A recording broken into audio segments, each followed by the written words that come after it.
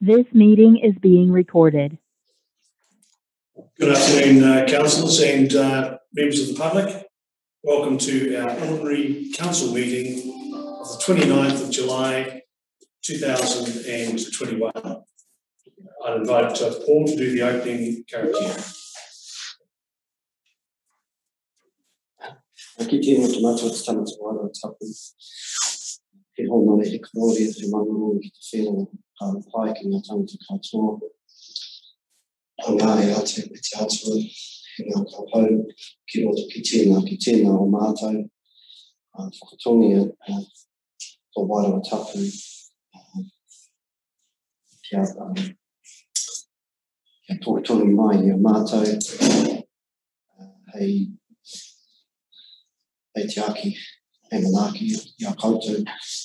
wā katoa.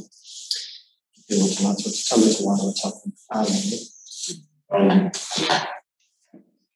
Item two on the agenda is the apologies and uh, we have an apology from Deputy Mayor Carruthers, one from councillor Hart, one from councillor Hartshorn and one from Francois. Uh, Are there any other apologies? By the councillor to move that the apologies from Deputy Mayor Carruthers, councillor Hart, councillor Hartshorn, and uh, Francois be received and accepted. Councillor Neil, councillor Cogan, all those in favour? Aye. Thank you. Move on to the next item on the agenda, which is the declarations of interest. If any councillor has uh, an interest in anything on the agenda that they feel should be recorded, please do. It has been circulated on team systems. It's an important part of what we do. Item four, uh, there are no items that I'm aware of. To the agenda.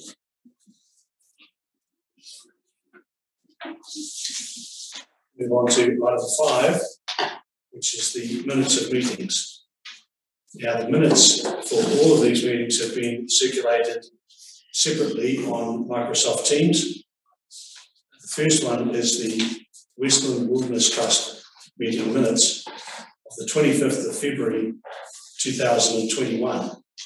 And we have both Councillor Davidson, Councillor Neil, and we also have uh, Paul Mandrick, who were at the meeting. And uh, I invite them to um, resolve if there are no changes required that the minutes of the Westland Wilderness Trust meeting held on the 25th of February 2021 be confirmed as a true and correct record of the meeting. Do I have a mover? Thanks, uh, Councillor Davidson. Seconder? Councillor Neil. All those in favour? Aye. Carried. Move on to the Parks and Reserves and Environment Subcommittee meeting minutes on the 14th of April 2021. These, these uh, minutes are being received, they're not being uh, found to be true correct.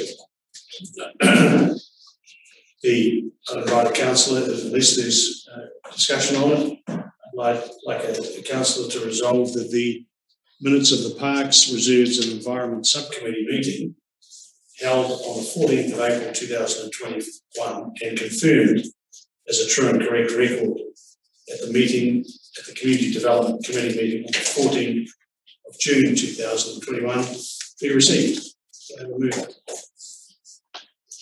Councillor Martin, thank you. Councillor Neal, thank you. Those in favour? Right. On to the next one, which is the Economic Development Committee meeting minutes of the 18th of May 2021. Uh, those in attendance were myself, Councillor Davidson, Councillor Cogan, Councillor Martin, any changes to those minutes? Invite uh, Councillor to move that the minutes of the Economic Development Committee meeting held on the 18th of May 2021 be confirmed as a true and correct record of the meeting. Councillor Cogan, thank you. Second. Councillor Davidson, those in favour? Aye. Good. Move on to the next uh, set of minutes, which are the ordinary council meeting minutes of the twenty-fifth, twenty-fourth of June, two thousand and twenty-one. They have been circulated. Are there any comments?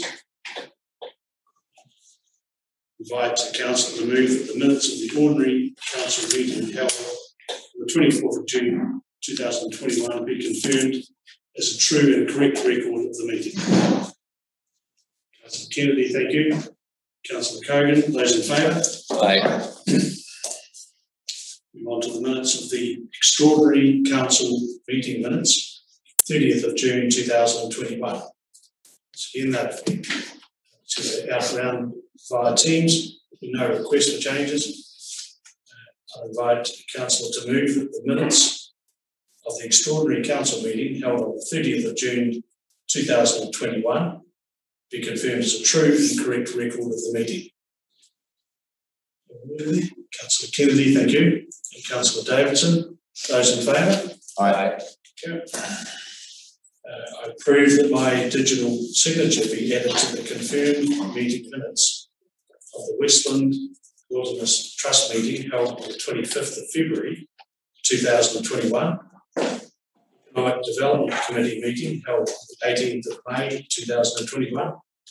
The ordinary council meeting held on the twenty-fourth of June, two thousand and twenty-one. And the extraordinary council meeting held on the thirtieth of June, two thousand and twenty-one. Thank you for that, councillors.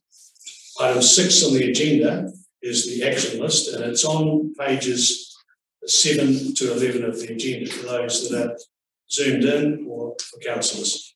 And hand over to the chief executive. Yes, good afternoon, your worship and councillors. I'll take you through the action list one by one.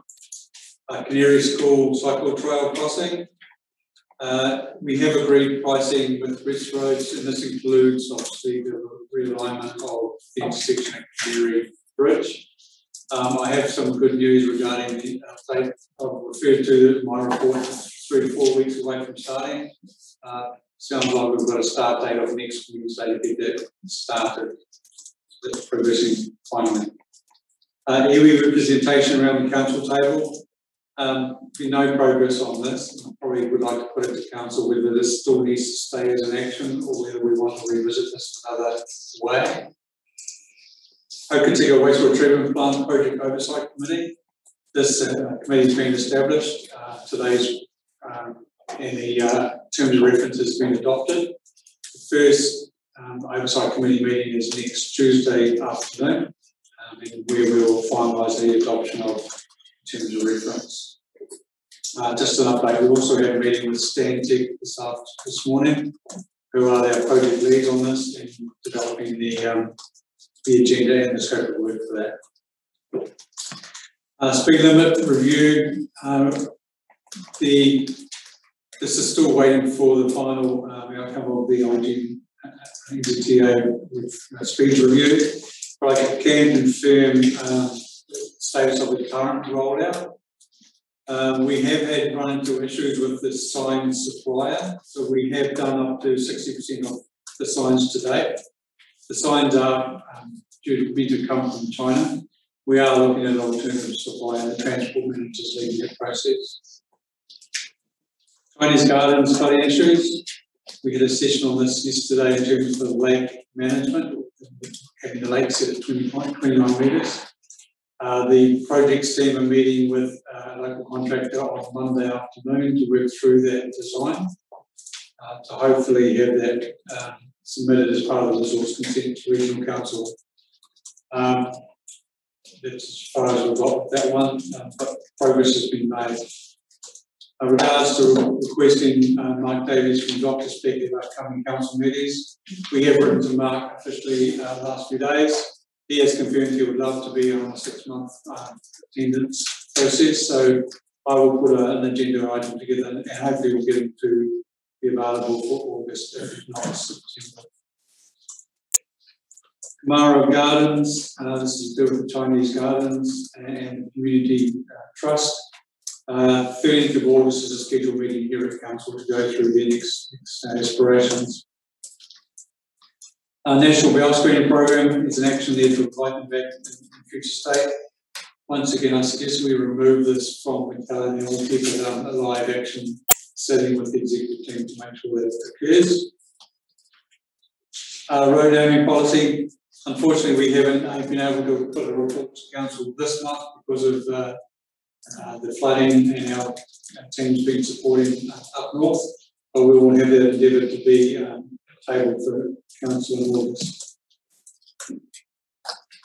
LTP submissions, that's a uh, process we're looking to finalise over the next few weeks in terms of finalising the back to the submitters. Our Matariki Festival has been completed and ongoing now. Destination Westland Long-Term Structure Review has been completed and resolved last council meeting. Franz Josef Strategy Car Parking Requirements and Signs Requirements, that has been completed and is now part of the TTPP works. Uh, Revell Street Trial Stage Two, and you would have seen uh, in the paper and plus also the uh, updated schematics. The revised plan has been completed, pricing is currently being sought to be evaluated. And um, His Worship has taken the lead to talk to local businesses and getting a good response for all accounts. Uh, LG and re, LG remits, I thank you, Councillor Martin, for taking that to the AGM voting accordingly. I've just added an additional item there which is not on yours, so um, I've got a, just an update on the compulsory stop sign at the corner of Searle and Hampton Street. So this is, um, we're organising the changeover for that to happen. We have to coordinate it with the contractor with the road marking, so when that is all next, um, that process will be completed as well. If you take any questions. Thanks, um, thanks, Simon. Um, we'll open it for discussion, very comprehensive. Uh, Paul? Right, thank you, Worship. Yes, lots, lots been going on. Um, one word regarding the, um, the Kaniere Crossing is, um, woohoo. Yeah. Um, yeah, that's great. It's starting, work starting next week. Yeah. Just to inform you that we also plan to do the car park here at the same time, so it's included in scope. Nice. Right, that was the next question, so it's very good. Um, the through here, the um, um, Festival, I just wanted to congratulate um, Councillor Martin and Councillor Cogan um, for the program that's put together. It was um, the first year that was put together in, in um, really short time. Um, and um, well done. You know, this is, um, um, you know, I can take a punch above its weight again. And uh, next year will be better. You know, learn from from this one, but um, it's you know it's just such a good opportunity to get out there and do something positive at that time of the year. It's so hard to um, to draw people out of their homes. Um, and yeah, so well done. It's um, some spark into winter, and um, and, and next year, of course, um, when it becomes a public holiday, there will be more public buy-in um, to it anyway. Um, so it's good to be ahead of that. Um, so yeah, well done. Um, and the um, Street trial is this on the agenda elsewhere? Uh, this is in the CE's report, uh, uh,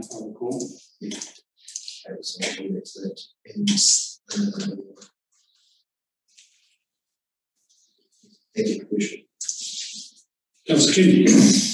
Um, yeah, thanks, Simon. Um, just what, have- what have we got here? Um, just this uh, bit of clarification. So the Franz Josef strategy, it's not the strategy that's been transferred to the one district plan. It's the box ticking associated with it, isn't it? The planning for the Franz Josef Yes. strategy, it's just a box ticking part of it, not the actual planning. Well, it's the whole planning as well, but it's through the last council meetings or report to council. To get that transferred, because it's just gonna be the same amount of time and has to be done anyway. Righto, well, hopefully that happens sooner rather than later. Um, and so just to, so you want items two, six, eight, and eleven through fifteen removed from the action list. Is that Uh, the ones that been read, so number two, we have a question it's say, Oh, sorry, yeah. number three to be completed. And Number eleven, number twelve, thirteen.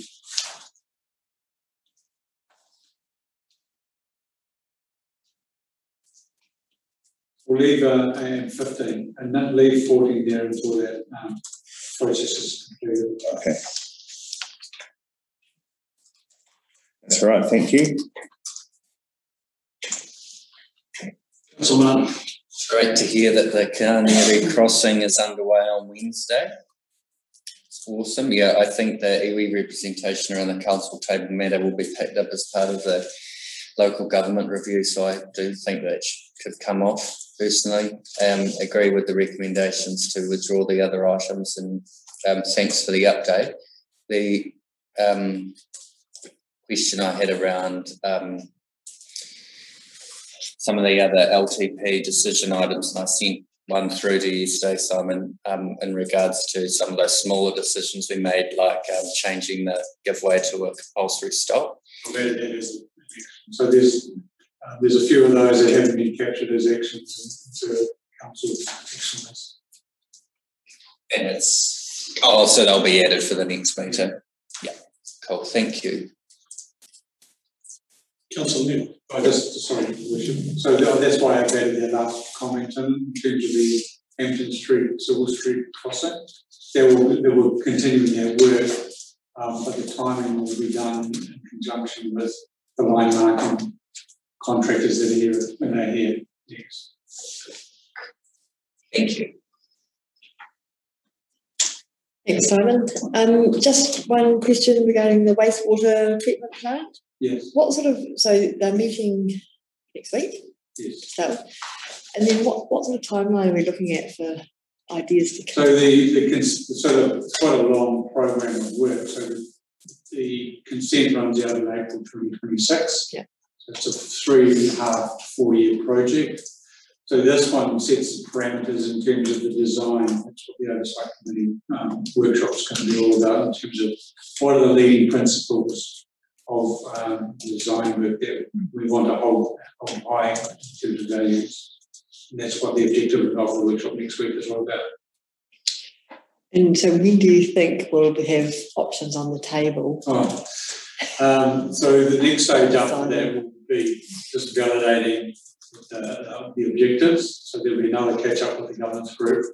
Um, and then there will be, then they'll start des- designing and identifying locations, etc. So it's quite a long program of work. What we can do is at a um, future council meetings, provide a finalised um, program of work and what it would look like, looking out to the final commissioning date. It- It'll be a um, best guess at that stage until we get some details of some. Because three and a half years can go quite quickly Yeah, well, we- so. We're well aware of that and um, we are starting right from very scratch, so we have no perceived objectives right now in terms of design or anything. Thank you. Councillor Cogan. Um, you just, um, few things from me. The, um, iwi impro- uh, representation, yeah, I, I, it's probably not significant for us to keep us on that one anymore. If it's gonna be a local government review anyhow. I think it sits nicely in that space. Um, There will be some outcomes regarding the representation in that, in that area. Yeah, I believe there is a workshop coming um, to council with the, um, with DIA to take a lead on that or okay, cool. Um, and yeah, just with regard to Ross Chinese Gardens, um, obviously, you know, we're still, it's still tracking okay. Unfortunately, the recent weather events did not help matters very much, um, which is always going to be an unpredictable thing, given the climate we now live in. So, um, yeah, as best we can, I'm meeting again. I meet once a month with the uh, Renus group down there, which I'll be doing again tomorrow um, just to ensure from that end it's on track and um, appreciate the work that council are doing around um, getting the resource, working towards that resource consent too. So thank you very much for that. Um,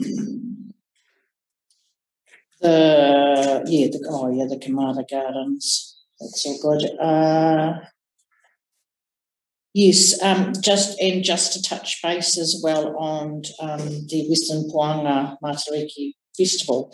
Um, we certainly did have, um, a couple of months of really great success with that. And uh, look, to be honest, I think a, a huge amount of that thanks needs to go to Councillor Martin, um, who um, I yeah can't imagine he slept very much over the last two months. To be honest, trying to juggle all the activities that went on, and and um, Latham, I think you did an extremely great job with your leadership of all of those events um, it was it was also great too, and I think um, prompting on what you said, um, Paul, around you know everyone gaining more of an understanding now too of Matariki. I think that for our first year, we did that well. You know, there were opportunities at the Regent Theatre and and whatnot to go along and hear a lot more about what Matariki means.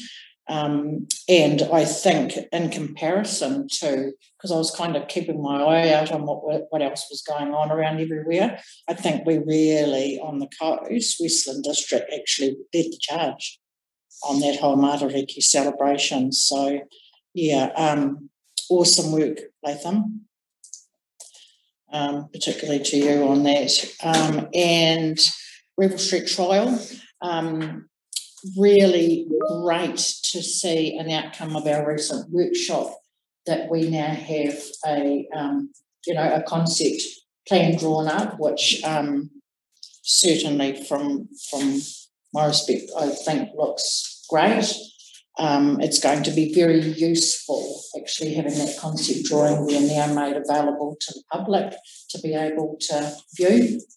Um, and um, also that understanding around, you know, the commitment and the funding commitment of that, you know, not just being something that's just come up all of a sudden, that this has been in the throes with um, the funding towards what needs to be done along there.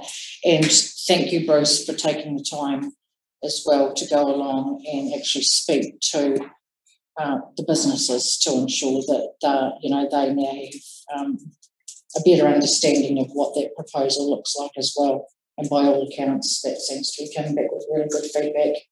So, yeah, that's a great one for us to be able to be moving forward with.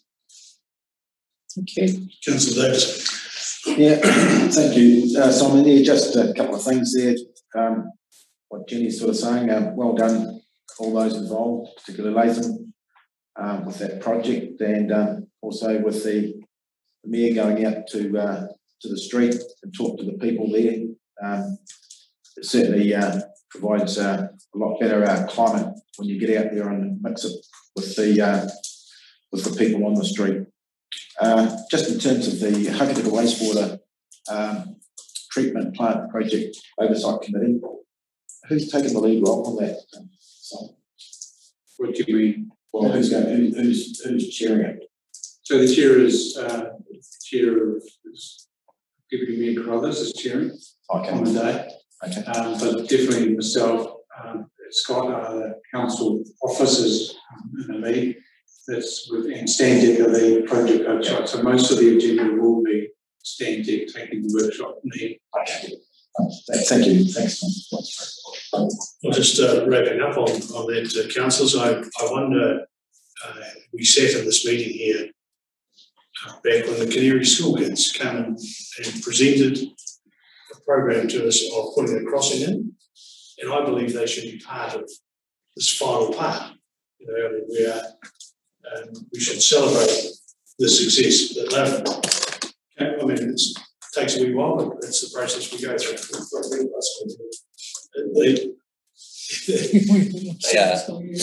I, I think the Kaniere School could develop the, the concept, presented it to us, I, and I really um, think that we should invite them along as the work gets underway to to celebrate what's actually happened and, and basically say, look, this is this has come about because of what you've done.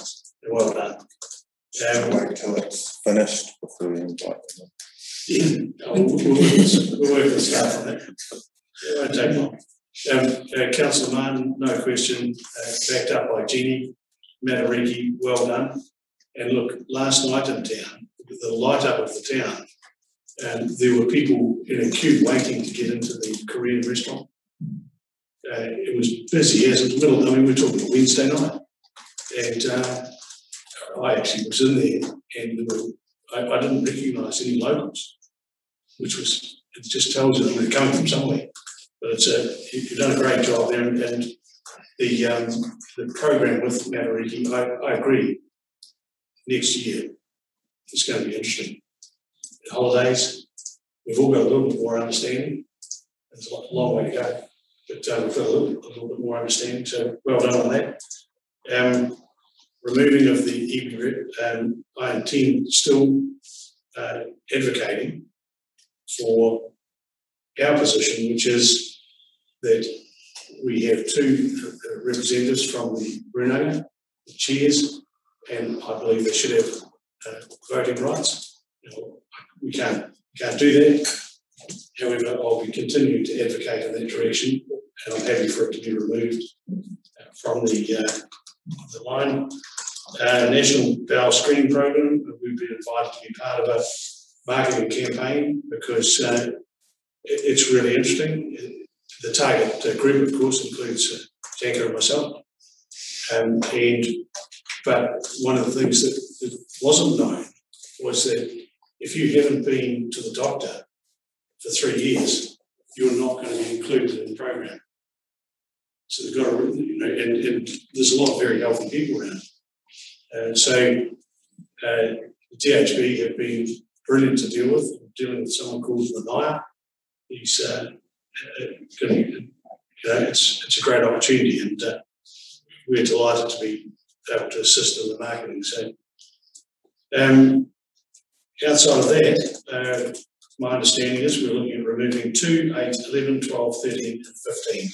Uh, three also, your worship. And 3 as well, thank you. So we're looking at 2, 3, 11, 12, 13, 15 and 8. Does anyone have any uh, problem with that before I get a resolution going?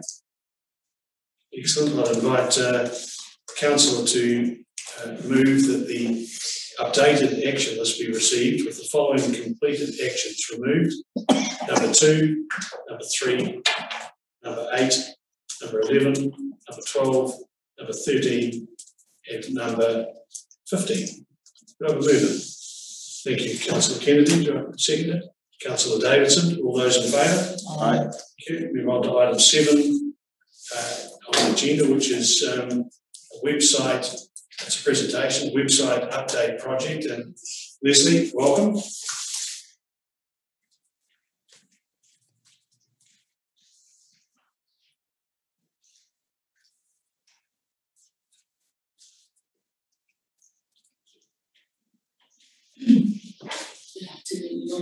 Councillors. This is just a very short um, presentation to show what we've done with our website and really the reasons behind us doing this. So we've been working for the last twelve months uh, with the project team on refreshing and updating the website uh, for various reasons. The project team um, consisted of um, Diane Maitland, Executive Assistant, uh, a representative from the library, uh, IT and information management. And the project leader was uh, Emma Ray, who's our strategy communications advisor. Uh, we went out to the market through the GIFT system with uh, um, requests for um, expressions of interest, and the chosen partner was Pattern Limited, who have been exceptionally good to work with. So the reasoning, first of all, for going down this route and having brand new website was ease of use and the availability of getting to the information for the community and anyone who wants to use our systems. Um, previously, the website was very difficult to search. Um, it wasn't easy to find information. What we've done here is um, created a much better enhanced search facility So this is the landing page you will come to. It's not just a pretty face.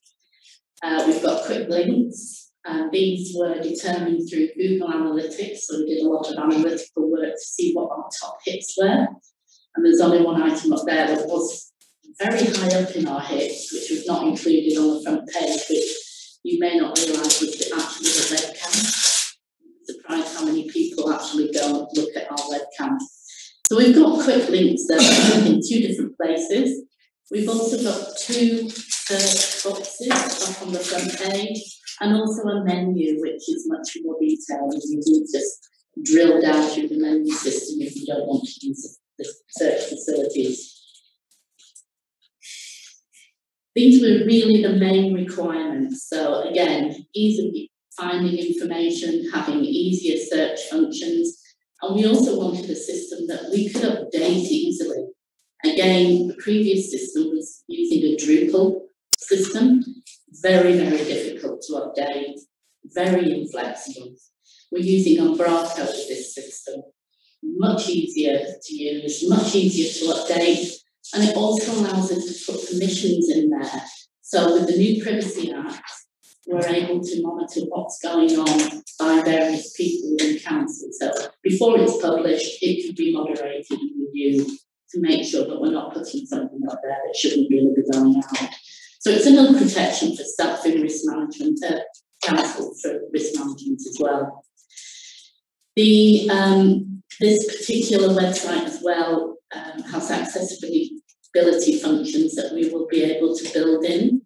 We haven't included them yet, um, but they are available on this website. And future work, we can actually enhance it a lot more. So we'll be also including the website for the library, which um, will have the same look and feel as this website, but it will still have its own um, uh, which will also have its own um, twist to its website with what it needs. And again, in the future, we'll also do the same with the museum, but that's not quite as far along as um, the library one. That is going to go live within the next few weeks, I believe. Sorry, just lost the presentation there. Interrupted, Sorry? Interrupted. it's me.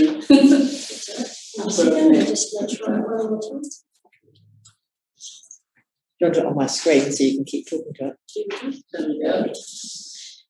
So, back.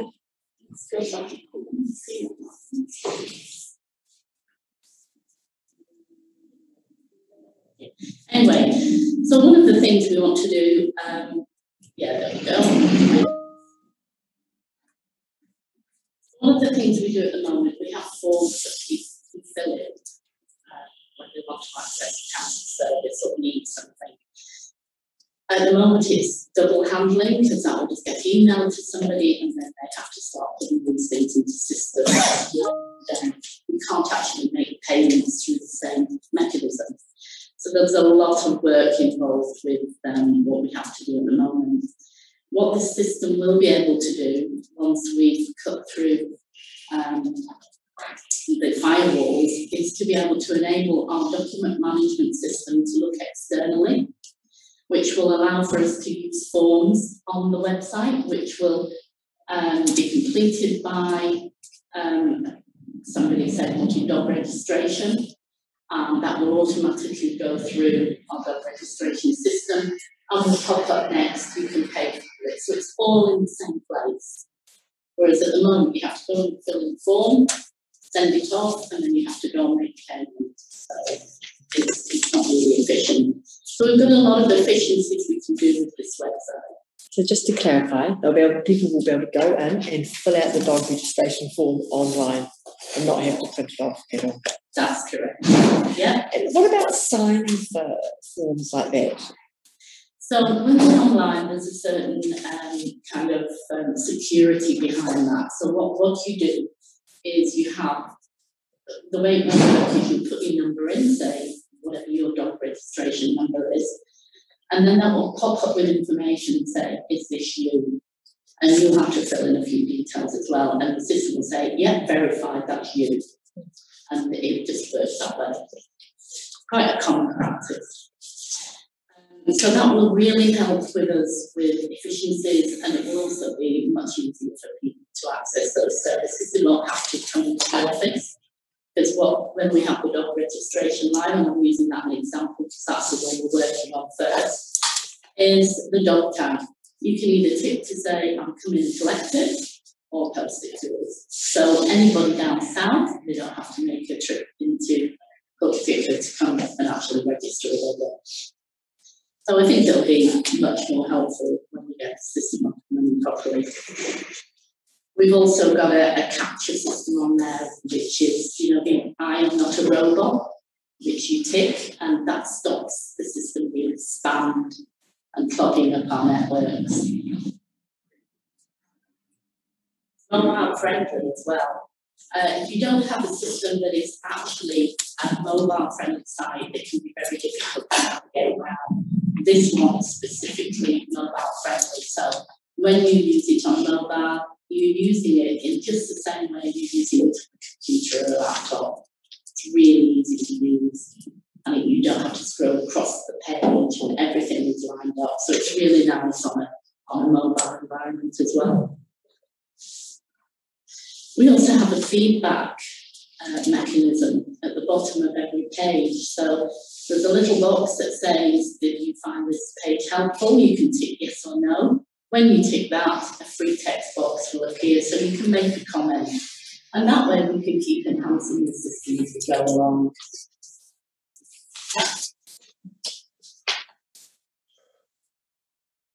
So in the next few weeks, we're due to get the library website live. They're just working on the content at the moment.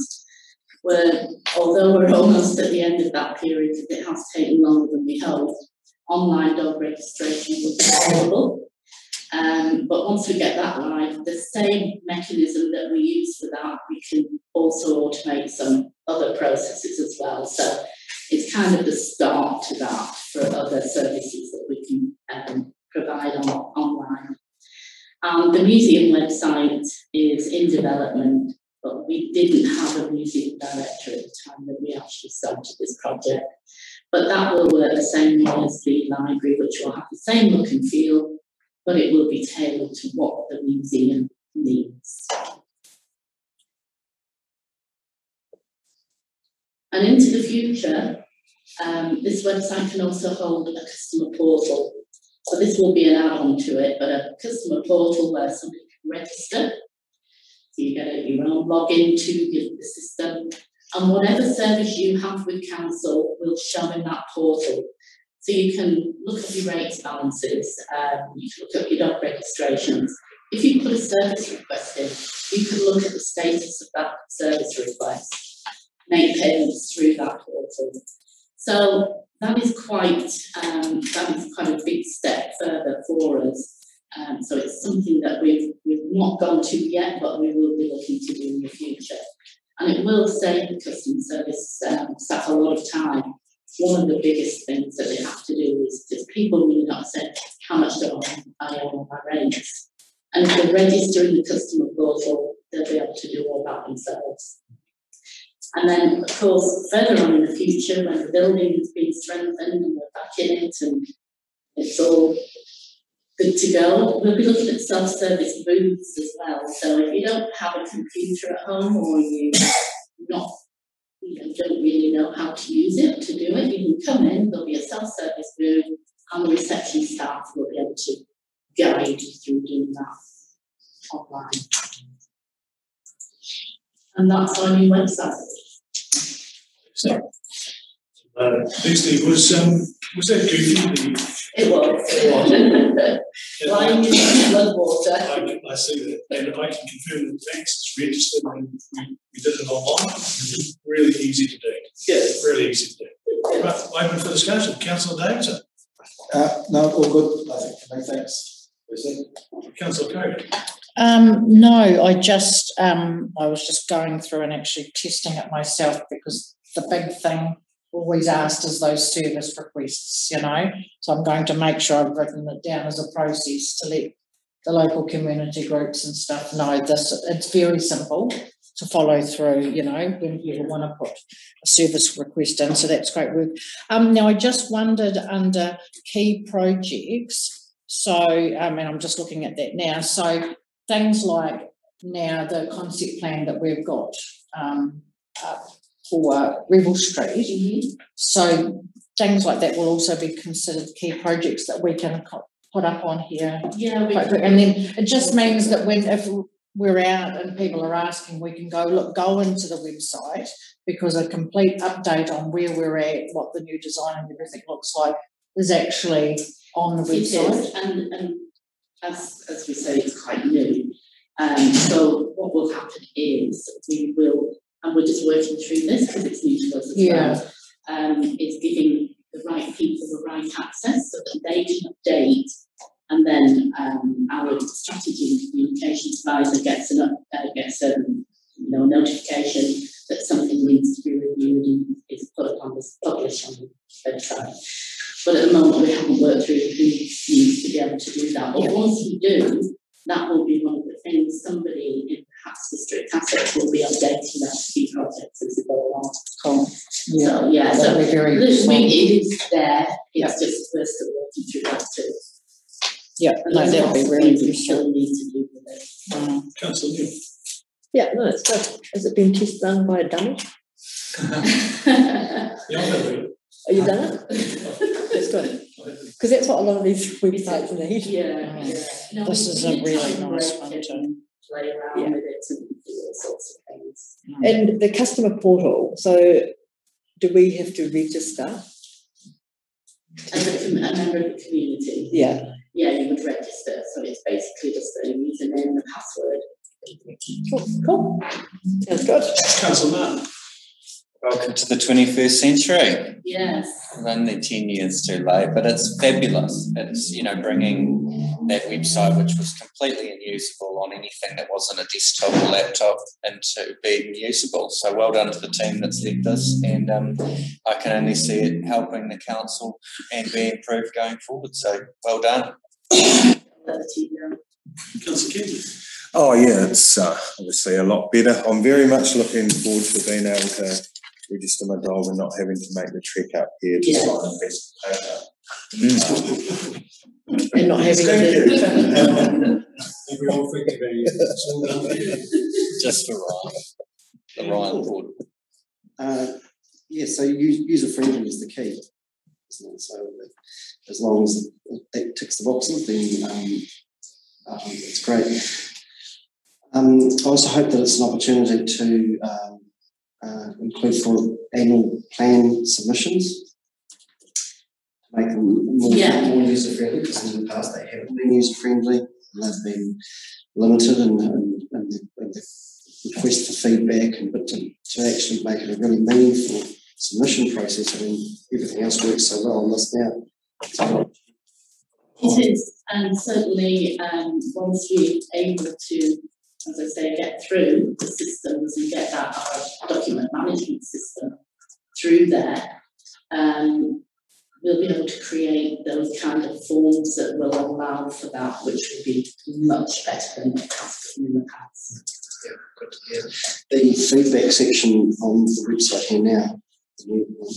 Um, so will that be um, like the old suggestion box? Uh, yeah, it can be. It can be, you know, this is really good, or um, it would be better if this happened or that happened. So you get a free text box that you can put whatever you want in there, and we get those those those messages. So I'm sorry, I mean, um, so it's not just feedback about the website functionality, but about you know, feedback on council. Uh, it's feedback on content of the website that we're looking for there, but the feedback to council could be um, through a service, if you know what I mean. So it could be the content on that page. You'll say, well, it would be better if you had this con- information or got that content, but it's it's not really a feedback service on council. Right. An opportunity to include something like that in the, in the website, you know, if you've got some suggestion or feedback or commentary on the council, not an anonymous one, they want to do that, they can get on Facebook, or whatever, their rant. But, um, but they actually have to put their, put their name and a reasoned feedback. Yeah, but you see, we, um, we do have our resident survey that really is, is designed for that, to actually give feedback to the council. And that's, that's how we would generally like to have feedback, it's quite, de- or it can be quite detailed, but we do find that a lot of residents just, they just give us a, you know, oh, it's pretty bad or whatever, and then don't tell us why.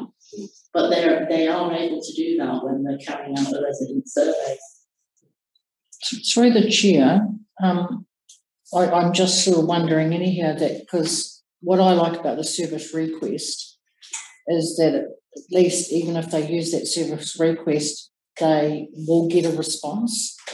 Like, so, you know, if someone's that peeved about something, for argument's sake, and wants to provide feedback, obviously, you know, we want to be able to get back to them. So if they followed that process, at least it would be followed through and they would have to receive a response of some form. Would, would, would, is- would I be fair to say with that? Yes. Yeah, I think, I think it's something that has got merit, but and that needs to be discussed. And, uh, So, so that, Paul? Thank you. And potentially, you know, um, just thinking, you know, thinking outside the box, very quickly, um, we may be able to do surveys through it because it's much easier to do and use. And it could potentially be that you do our own surveys, so you have that request, you know, that feedback request more often than just the um, full resident survey. So that's something to think about that we could, we could put on the list. Yeah, I think it's, I think it'd be well received. People would have to comment on councillor Martin's Facebook page. I'd uh, invite councillor to move that the, and with the congratulations to the team. That's, it's a huge job. And there's always so many pieces that have to work together, but, um, invite a councillor to move that the website update project presentation for the Group Manager Corporate Services, Westland District Council be received. Councillor Cogan, Councillor Neil, all those in favour? Aye. Thank you, thank you. well done, guys. Move on to item eight on the uh, agenda, which is staff reports. And Chief Executive, very, very comprehensive report, just looking at that. System, team finish me. Yeah, good afternoon again, councillors and worship. Um, this is quite a detailed report and, uh, quite a large report, so I'm just gonna skim through it reasonably quickly. I'm not gonna take it as read, I'm gonna touch on a few, few topics as we go through, so just a little bit of detail. Um, the Three Waters Reform, um, we have a workshop later this afternoon, but I just want to touch on the significance of this piece of work that's been led by DIA on behalf of the Crown. Um, there's a lot of work in this space and there's a lot of unanswered questions. So we have been going back and along a lot of other um, districts, um, trying to seek further clarification, particularly around the numbers that have been provided by the Department of General Affairs um, through their um, analysis. Um, our last week, we were at a uh, LGNZ conference or week before, um, and they, they tabled uh, heads of agreement that's been signed between LGNZ and also the Crown.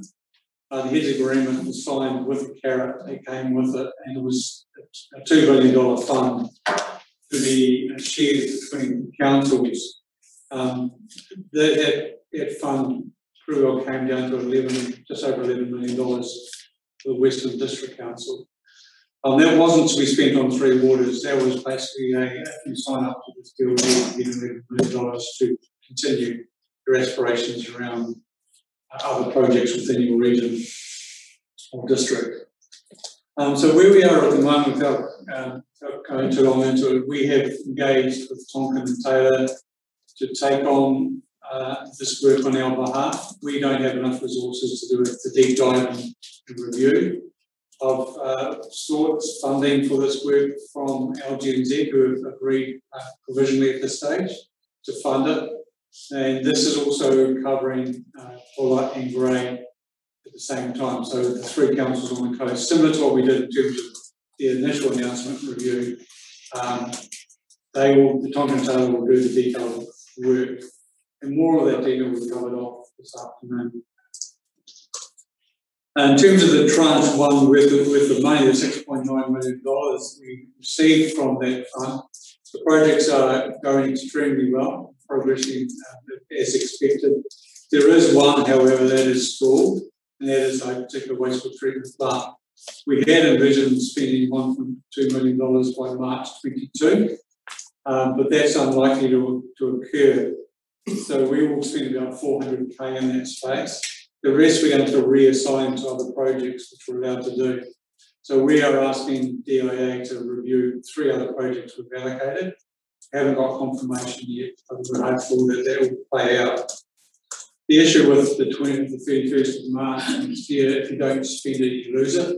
So we want to make sure we spend it, um, be percent out of it. Arrowhead water supply, uh, the project is going well. Uh, and we have work started this week on site with a prefabricated plant. Uh, that is expected to be completed by the end of August, which is great news. Uh, Fox Glacier, uh, there's been some delays again in this one. There's some major delays around all three these projects nationally because of stretch on contractors. But uh, we're expecting this getting away later this year. Just wanted to give you a quick update on the provincial development unit funding. So solid waste, the land, Fox landfill, obviously the remediation was completed in Fox River itself. The cleanup has been completed also. Uh, and Butler's landfill has started. You'll see a couple of photos there alluding to the size and scope of the work that's been led by Roscoe's. Uh, Street extension, one point one nine million, that's going extremely well. Uh, quite a big job if you've actually managed to get down and have a look at it. You can see by the photo how much um, stormwater management there is within the region. Um, but the team down there are doing a great job. Uh, Old Christchurch Road, the three point um, two million. I've got a latest feedback in terms of details, in terms of how much we've actually sealed today. So we've got six point seven kilometres sealed. Um, we have widened a further two point three kilometres, um, and that leaves three point seven kilometres that we won't be able to get to within this budget. Um, so we've basically got as far as Van Beek's farm in terms of the seal, which covers most of the residential properties along there. The rest of the work will require to be revisited at a later date within our annual planning process. Um, just didn't stretch far enough. Uh, Jackson Bay Wharf, you would have been aware from last month, uh, council meeting of the work that's gone on there in detail. Um, so they'll continue on and complete their last stage, and that's what they moved to previously. I have architect the swimming pool, you've seen the uh, contractors have set up a site across the road. Uh, we're in the process of um, re- relocating two big palm trees up again on the beachfront. And then the works will start, um, and today we have a, a tenders award a proposal for um, the rest of the services for this. Uh, some good news, we've been um, won some money again, or hard fought some money in terms of tourism infrastructure fund. We applied for seven projects, we received uh, approval for five. Just running through those very quickly, an upgrade to the car parking in Franz Josef. This includes the walkway up to the township and lighting that. Public toilets at Paringa, this is replacing the salmon farm toilets, but this is a permanent place for our responsible camping and going very well.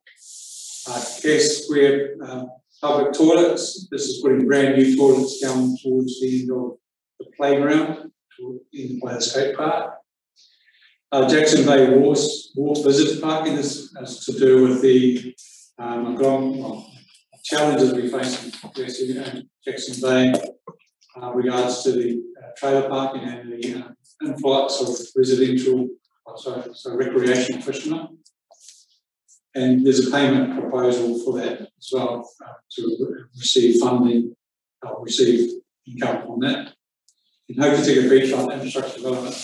Um, this, most of this fund is to put a purpose-built beach access out at the end of World Lane down onto the beach. Some additional parking for camper vans, uh, some bike stands and wayfinders for the CBD.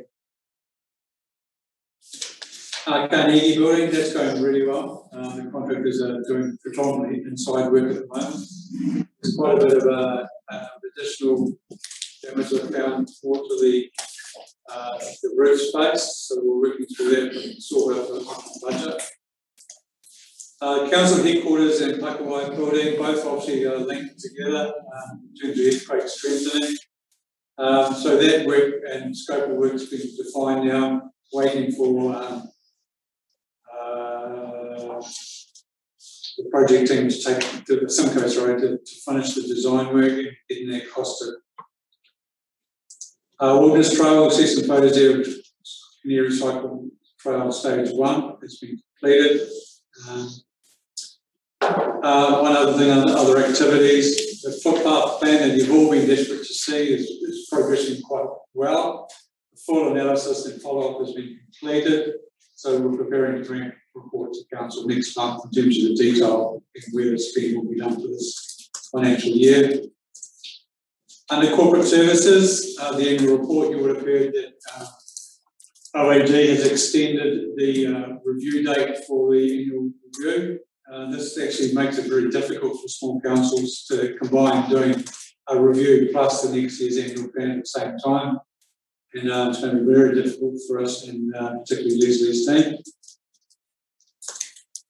Um, and finally, I just want to touch on staff turnover. You would have seen a few names leave council in the last quarter, um, but we have obviously turned around some um, quality staff into the department as well, including Scott. Happy to take questions, Your Worship. You, oh, sorry, one other topic is, sorry, Your Worship. Um, I have, have got an update in terms of um, West Coast Regional Council's seawall and river protection works. I met with them along with our planning manager on Tuesday. Um, I've asked for them to provide me a brief. So they've actually contracted Beca to do the resource consent and the design work for the seawall, particularly. Um, and that's a three month process, so don't expect work to start there anytime soon. But um, they are proposing to go down the fast track consenting process uh, through the Minister of Environment.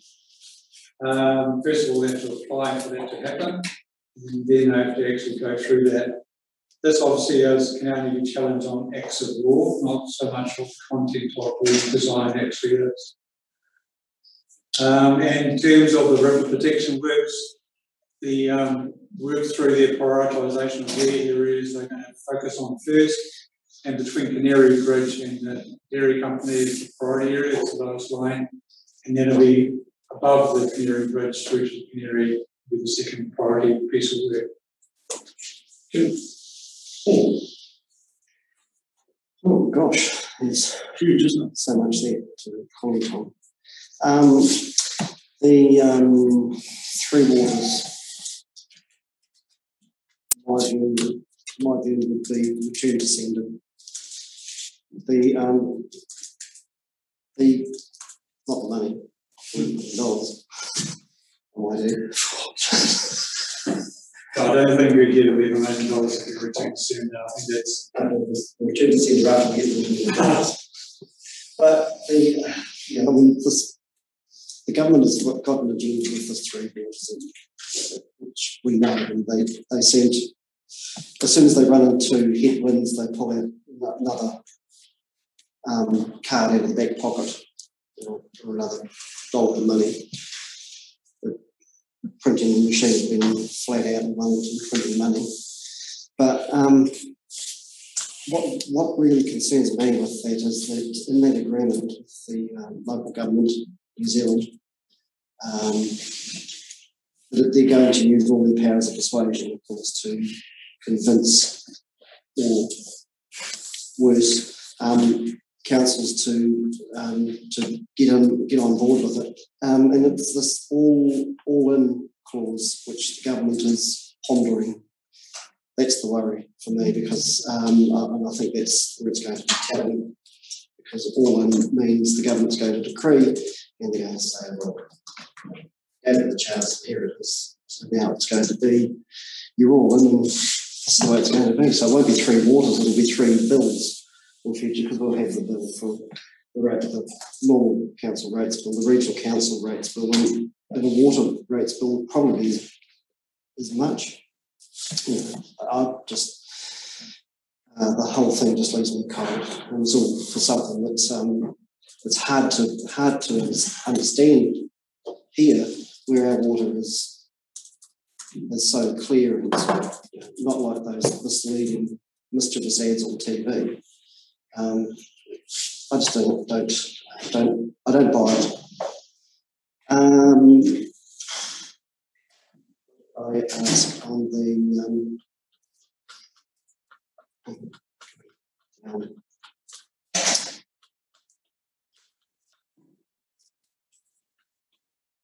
the old Christchurch Road extension, that's really unfortunate that it's coming short.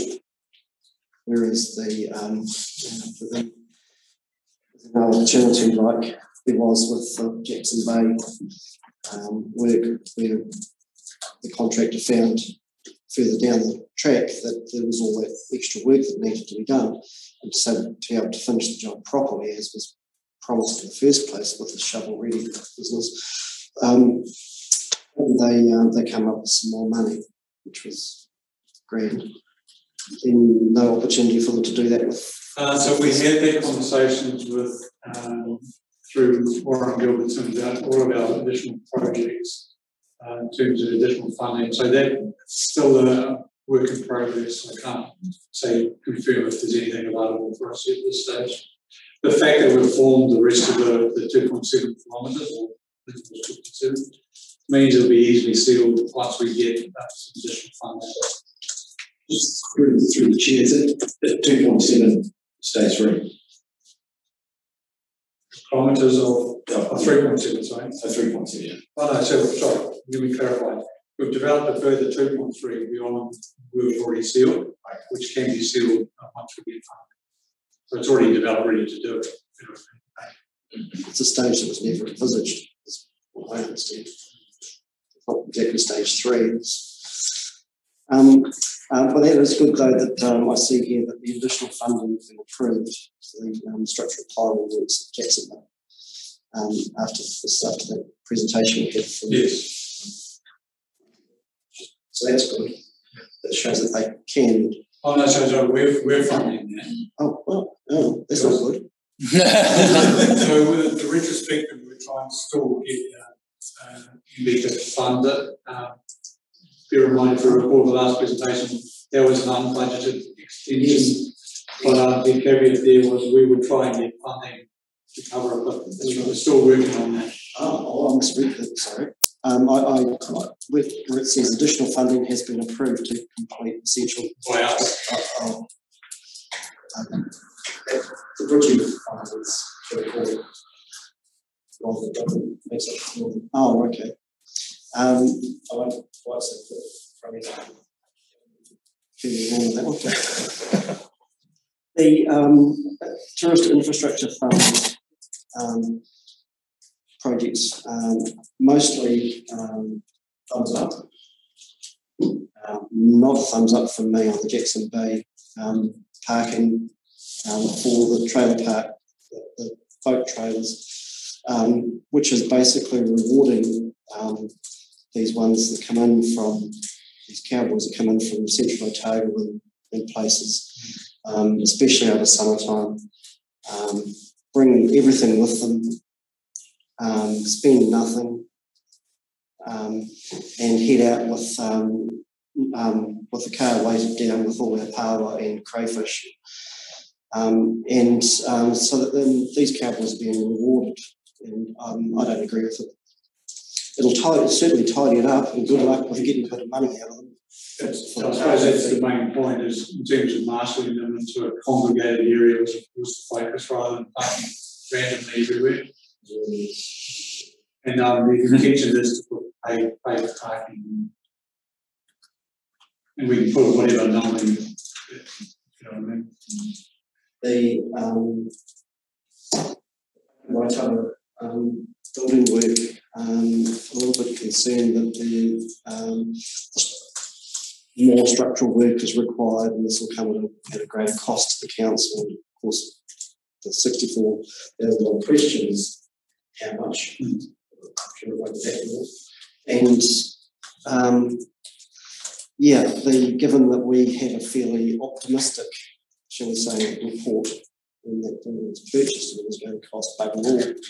And now it's going, already, it's going to cost substantially more a greater, a, yeah, a greater structural work required, um, and, and including about uh, based on whether or not the um, uh, yeah, the, the staffing, etc. So just to allude to what that refers to is space, if we are going to put additional load, for example, upstairs, that's, that's not earthquake strengthening. So what we're doing is, it is earthquake but it's to do with the future use of the, of the building, not if we bought it and had to fix up the existing units.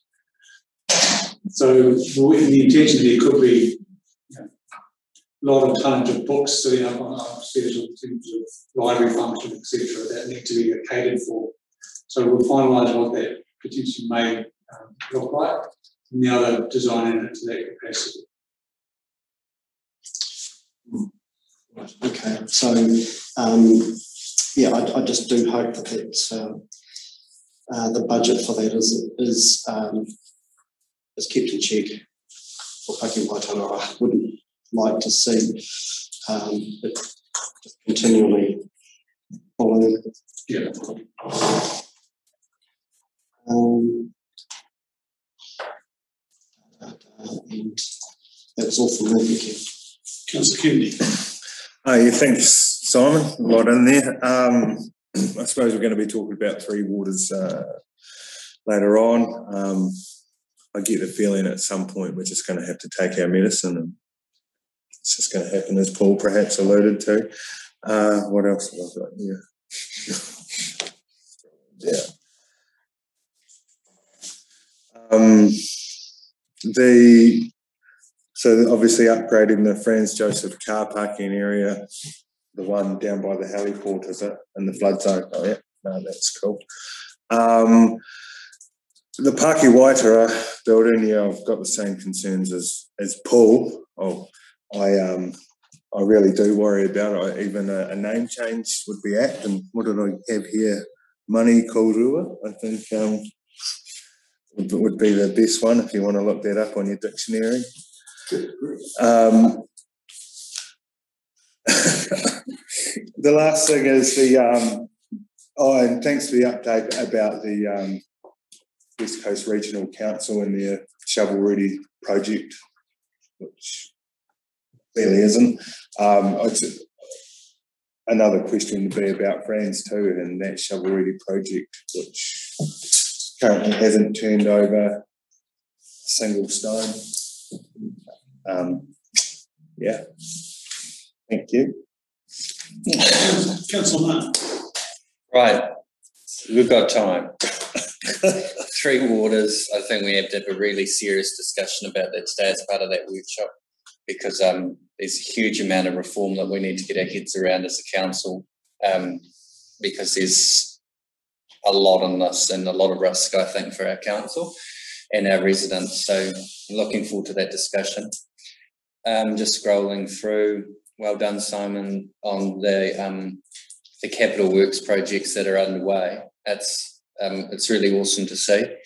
Um, I'm just want to stop and talk about the as I scroll the um, council headquarters in Pakiwaitara. I'm wondering whether it would be useful for us to receive costings on what it would actually cost to bring the council headquarters to 100% NBS. Um, I'm just concerned that 67% may be elevated at some stage in the future anyway. The requirement to go additional and I appreciate that um, you know there's scoping work happening at the moment, but both of these buildings seem like they are key buildings for the district, and it would be a shame for the, you know, it would be good to know the facts on what the difference cost actually is and the um, expectation Just on top loading. of the head, it's going to be, would be quite substantial to go to hundred percent because you'd have to, get mess with the foundations of this building, which wouldn't be uh, an easy job, considering the way it's been built. Yeah, I, I also throw in the mix that we haven't yet commenced the planning or work for our EOC, and it concerns me we don't have an IL, a, yeah, and so we haven't got a, a building that we can actually run a control centre out of.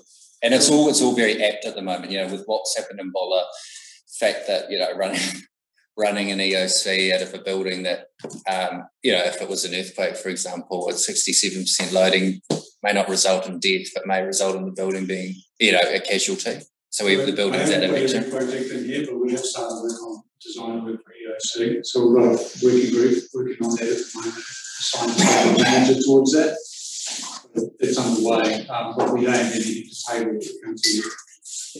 Um, okay, that's probably important to know because I think that's in the mix. It's like if these, if these two buildings are key civil buildings are not able to be used, um, have we got a building that's hundred percent of our four, you know, and, and a headquarters that can maintain an EOC at the airport sort of?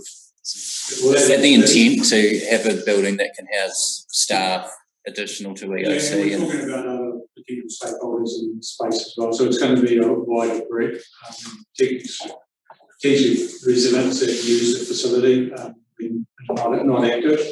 So we don't want it just to be a shell that sits there just in case, it needs to return some investment. And sorry to sound doom and gloom, but sometimes like it might be a couple of million dollars more to strengthen it to hundred percent, but what would the cost of it be if it was a, you know, critical failure of the building, to clear the building, to have to build a new building? You know, I don't know.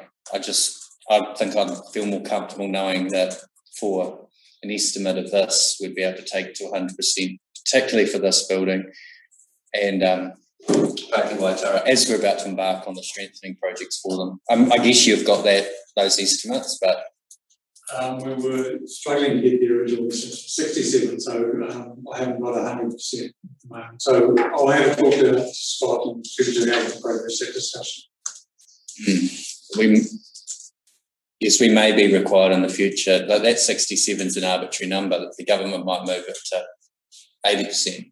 It would take a while for that to change. Yeah, that's right. That, that would affect a lot of buildings in New Zealand. Huge amount. Unaffordable. Downtown Yeah, yeah, yeah. I know. It's just we're we're here thinking of the next 30, 50 years. So, okay, enough on that. Scrolling, still scrolling through this long report. Thank you. Looking forward to that footpath body of work. That will be very interesting. Is that coming with a recommendation around works proceeding?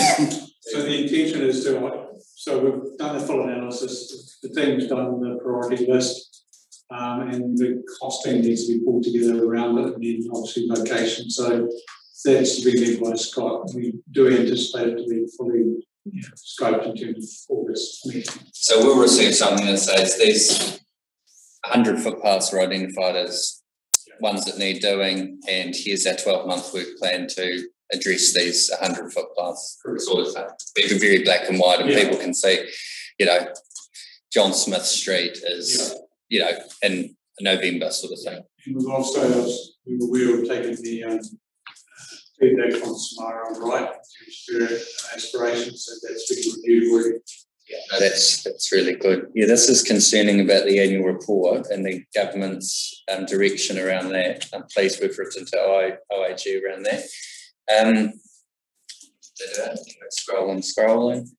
Um, be interesting outside of this meeting get an update on some of these new roles and how, how they um, contribute to council. It'd be really cool to understand. I think like we've got new people and new jobs, like customer service team leader, and you know what's what's different now that they're on board would be really cool.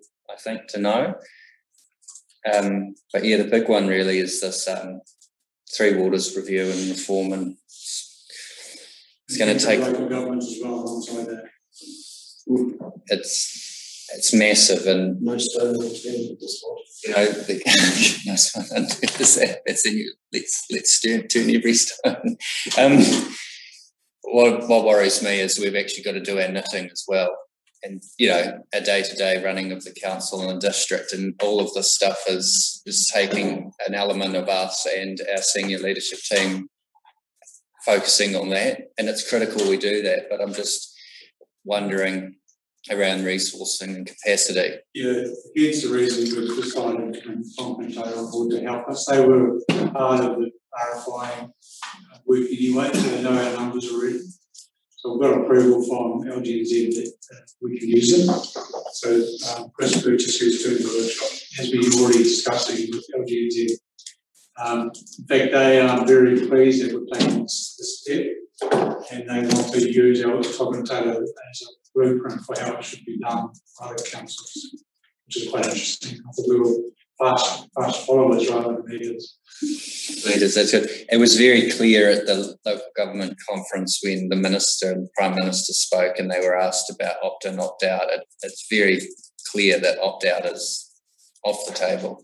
It's not an option. Yeah. So that's going to be something we have to consider our position on. I think as an allegiance of councils through his worship, because you know it was that it was very very clear questions from the floor through this messaging system to the commentators up on the stage who were seeing it around people, other councils expressing concern around can we opt out? And it was wasn't a clear no you can't, but listening to the dialogue it was no you can't. So it's huge for us to get our heads around. Mm. Thank you for your report, Simon, and the team. Councillor Newman. Um, similar comments to everyone else, thanks Simon. Yeah, big concerns around Pakiwaitara and at what point do we go, oh, we can't spend that much money on it? Do we have further discussions on it? Um, and an agreement has now been reached on the options for the use of the building. So was that not clear before? Um, Uh, it was, wasn't crystal clear in terms of, you know, exactly how it's going to be formed within and, uh, and the design elements that go with it. That's where we we've landed now. but the actual users are going to be what was originally intended. Yeah, okay. Um, footpath, a program in August. That is so exciting. I really look forward to it. Thank you, Nathan, on that one. Glad you're excited about footpaths. no, not about footpaths, about a program for them. I look forward to the workshop this afternoon to talk more about Three Waters and just concerned about the issues for the finance team and the workload. So I noticed there's one new person in finance. Is that going to be enough to cover the needs? Um, it's not that she new person, um, she's a replacement, so we haven't got any. So you haven't further increased? yeah. Mm. On BAU and on a normal year, we would have the staff that we require. Um, but it's when we have an overlap because of what's happening with audit, and I don't blame Audit New Zealand, let's just make that clear. Um, they have resourcing issues because the borders are closed, and that's, that's the way it is. Um, but it does put us at a particular um, disadvantage because we are a smaller council with a smaller team and having to do two big jobs all at the same time that requires the attention of the team. So is there the potential to get someone in as a contractor to do some of that or It's difficult because by the time you've got somebody and then you've got to train them on the systems and where the information is and you've you kind of done anyway. So and it takes you time as well. So it's a bit, it's a bit of one or the other, you know, what do weighing up which is best, but not really. that's outsourced to other people over in your country that know that system or still not? Because it does come up, doesn't it, sort of annually, Yeah. that there's too much work. Yeah, but with our, well, we need to step back a bit, with our IMAS system, we're in a really good place and it's really helping us to be, uh, have less workload and to be on time, so it's speeding things up. But it's just the fact that this particular um audit will be at exactly the same time the staff are being required to set up the annual plan process and to be dealing with that. So it's it's two jobs all at the same time, which we would normally move from one and into the other. And of course, it does put us at a back foot as well for the annual plan because we can't get our opening balances until we publish our audited annual report. And we can't do that till later on in the process because it won't have been audited. So it, it's it's kind of that kind of thing. But generally now we're in a better place because we've got our systems in place and really good systems. Um, it's it's just the timing this time. I think, we didn't want to acknowledge that, the challenges there, I guess. And yeah, please pass on welcome to all the new staff that that are there on the list. Thank you. Councillor Coe. Um, I just want to, obviously, because it's just bigger than being here, really, the whole Three Waters thing. I, I, you know, I'm just really struggling with the fact that, you know, we've got over hundred million that we own in assets. And government are going to take that off us and basically give us 11, point, 11 million back. Here we are already a small struggling council in New Zealand. Um, so yeah, I'm just, you know, I mean, I really want to see what they see as the significant advantages of, you know, changing all of these systems over. Um, because financially, I don't think I can't see how they are going to benefit council. I mean, they might have with some of the bigger councils, but I don't really see how they are with the smaller ones. Um, however, like, and to be honest, those ads on TV are absolutely embarrassing. Um, I who the hell come up with that? Um, but um, it's I'm really pleased to see that Tonkin, you've got Tonkin Taylor on board because you know, I mean, really, we are a, a duplicate of you know Grey and Westport. We're all in the same situation, you know, as far as population versus rating base goes. So I guess, you know, this is one of those times where rather than working on our own, you know, we should significantly be working alongside them as well. Um, now, um, just bringing up about the um, Pakiwaitara building, um, to be honest with you, my biggest concern at the moment is um, how soon can we get the work done over there? Because I'm actually just really conscious that at the moment we've got a library that sits there that we're paying a ridiculous amount to lease every year. Um, that's got a lease expiring in two years. And are we going to be able to get the work done that we need to? Because that money we're paying for exorbitantly on a lease of the library is far better off going into the bank for the mortgage on the Pakiwaitara building. Um, yeah, so um, I'm really interested to know that, you know, timeline wise, is that going to be possible?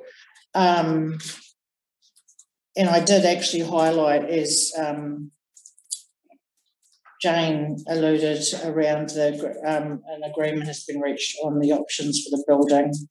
Um, I thought I thought part of that was still part of a discussion around what would be going into the building. I didn't know that we'd like a, it's been a resolution that's been decided that on everything that was going to go into the. So we haven't brought anything back to council in terms of this is business case and scope of work.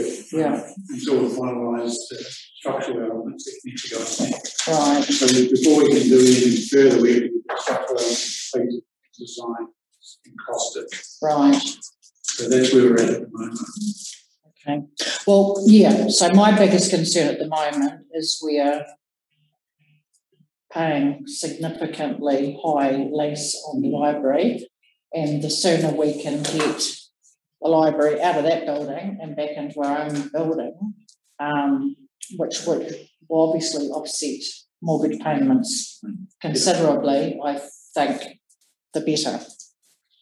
just to remind councillors that we still have a challenge with this building, so that building may be a solution for staffing until this building is upgraded as well. Oh, So there's a, there's a double-edged sword here at the moment.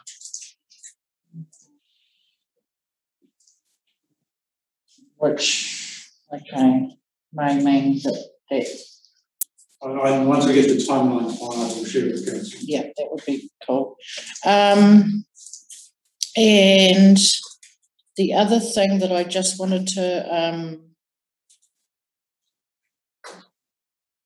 actually just bring up, um, and, and, uh, and, and perhaps through what you've mentioned here, um, it's going back actually now to the website because all of this information, like you, you mentioned about the success with all the TIF funding, like I would really like it if our website um, could keep as updated as possibly on the successes of when we're applying for external funding because I think people out in the community will be surprised at the hard work that also goes on within council to apply and get external funding and all those extra projects. Um, we, we talked about this two or three months ago, you know, but actually having something that's like a, a live running document that we can refer people back to and say, hey, you know, to date this year, the council not only are doing all of their day-to-day stuff, but they're receiving and all of this extra funding that's going to all these other things that are out in your area,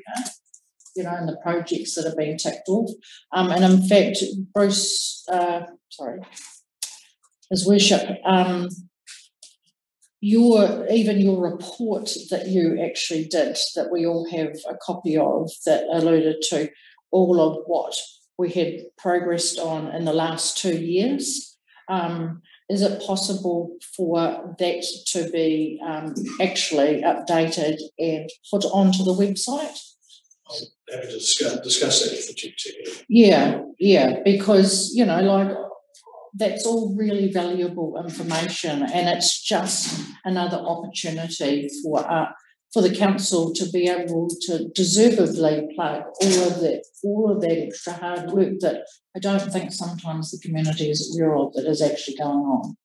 Yeah, that would be the only thing, like, other thing I'd say. Thank you very much for the very extensive report. Councillor Davidson, you can wrap it up.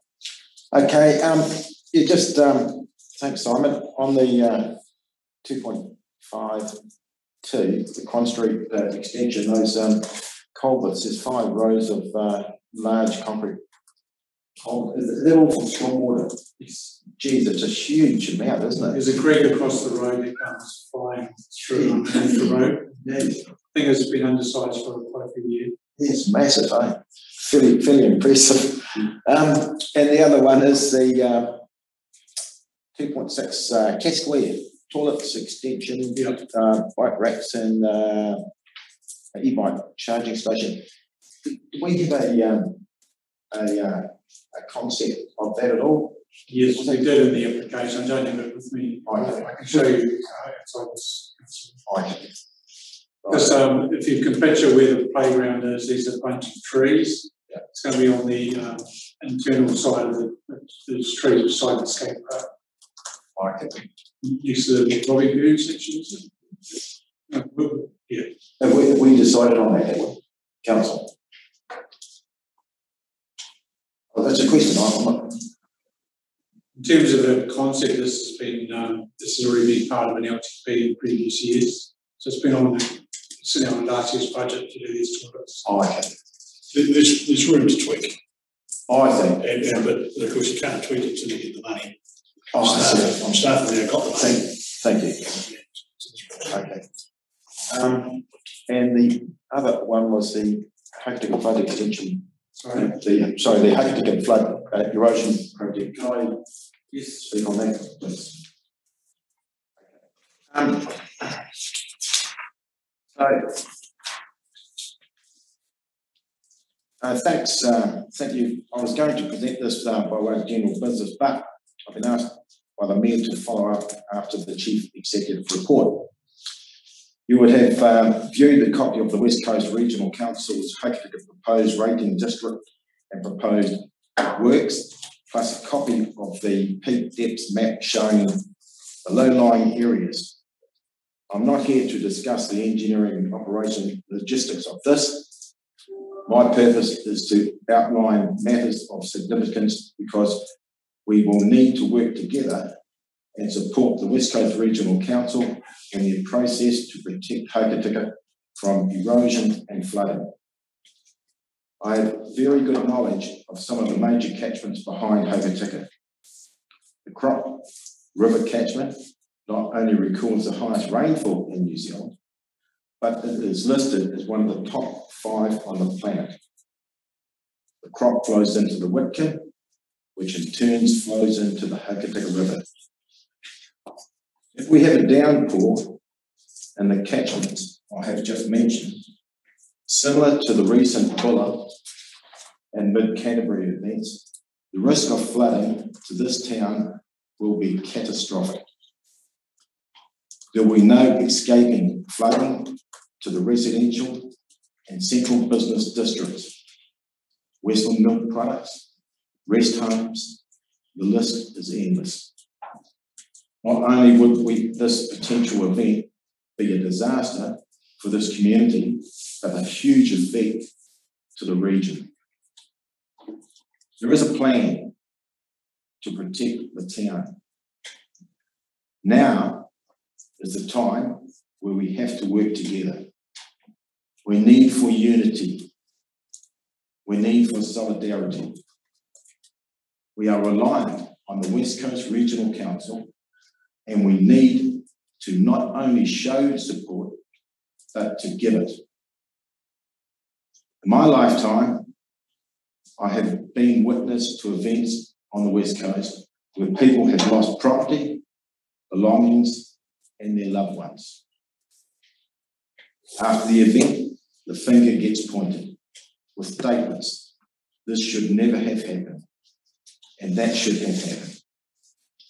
In Westport, we have seen aspects of, of this behaviour unfolding. Therefore, I'm strongly advocating that we act now. We need to work together. And I'm strongly in favour of getting behind with a plan to protect this town and its people who are reliant on us to do so. So, to this end, we need to set up an action plan working alongside the West Coast, West Coast Regional Council. Of course, there will be a need to include other organisations in order to achieve our purpose. Thank you.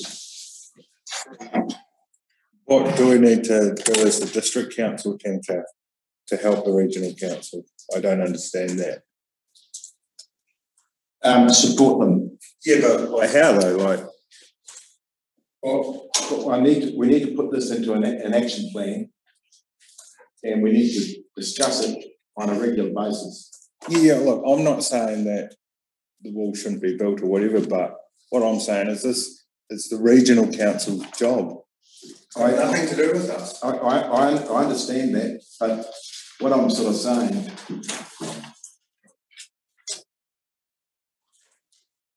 This here Mm. Is a threat. And I don't want to be like in Westport, pointing the finger, saying, oh, oh, it's nothing to do with us, that was your responsibility. But we're, we're in, in flood. Yeah, yeah. Like, I, I, no, I, I totally get it, and I understand Hokitika's at risk, and it's cool. So's Franz, and, and it's the same thing. We're going to set up one for Hokitika. We've got to set up one for Franz. Like, I, I'm not saying we don't support the regional council or whatever, but ultimate, ultimately, they're leading the charge. It's the shovel-ready project. They've got to do it. I- I don't. I just. I can't comprehend what it is that we as the district council have got to do with it. I think uh, conveying, putting it, uh, bringing it up each month, putting up the actions and conveying our feelings to the regional council so they keep the heat on. Yeah, no, I don't see any harm in doing, in doing that. The, um, two things, I, Firstly, I think it's unfortunate that the seawall is tied in with the, um, the stop banks. In my view, the seawall is another metal altogether and is a knee-jerk reaction that wasn't necessary because that erosion on that beach comes and goes, has done for 160 years and will do for another millennia in the future without having to panic and put a man-made structure on the right uh, uh, um, in the way of the town's one of the town's greatest assets. Um, but that's another matter on the, the seawall. The one for the the stock banks um, is um, is imperative, and, and um, I agree 100% with the mayor on this. Um, there's been um, dragging of feet, there's been, uh, you know, been delays with consenting, and, etc. And um, that map that's been put forward um, showing that uh, what a 100, a 1 in 100 year flood would do to Hokitika is frightening. It needs to be published in the paper so people can actually see it. I'm going to give this to you then. Not to me. For your staff. But it does need to be published and people, so people can, can realise the gravity of it. And um, there's no excuse and there's no need for um, mucking around uh, on this. Um, and it only takes one decent storm to come in all of a sudden and whammo, we're in deep water. Water.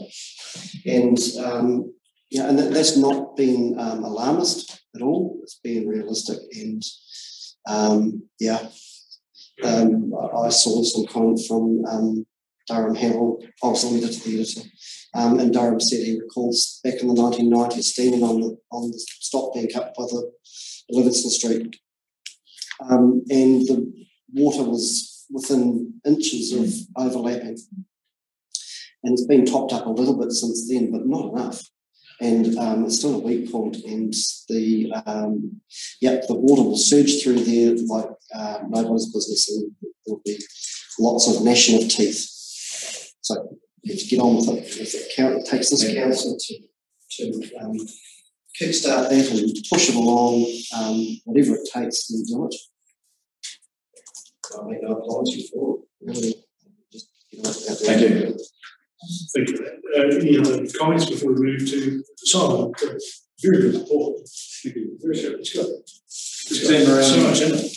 I think in line with um, what Tank is talking about, I totally agree, Paul, that it's a shame that the seawall and the river protection have been lumped in together because I think they probably should be separate.